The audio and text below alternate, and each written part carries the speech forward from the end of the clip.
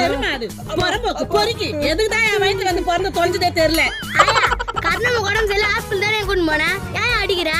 இவன் பண்ண காரியத்துக்கு அடிக்க கூடாதுடி. வெட்டி போட்டிருக்கணும். அப்படின்னா பஞ்சு கர்ணாவா? அதை இவங்கிட்டே கேளு. எருமை மாடு. டேய் அப்படி என்னடா பண்ண? மோத்தி உடம்பு சரியில்லைன்னு ஹாஸ்பிட்டலுக்கு போனல அங்க நர்ஸ் சொன்ன தாண்டி நான் செஞ்சேன். அதுக்கு போட்டு ஆயா என்ன அடிக்குது. ஏய் நீ போய் சொல்லாதே. நீ ஏதாச்சும் பண்ணிருப்ப. இல்ல நான் பொய் சொல்லல. நான் நர்ஸ் சொன்னதான் செஞ்சேன். அப்படின்னா சொன்னாங்க நர்ஸ் உடம்பு சரியில்லைன்னு ஹாஸ்பிட்டலுக்கு போன மோத்தி அங்க டாக்டர் ஊசி மாத்திரலாம் எழுதி கொடுத்து நர்ஸ் கிட்ட போன்னு சொன்னாங்க. நர்ஸ் கிட்ட போனா ஃபேண்டையருக்கு ஊசி போடணும்னு சொன்னாங்க.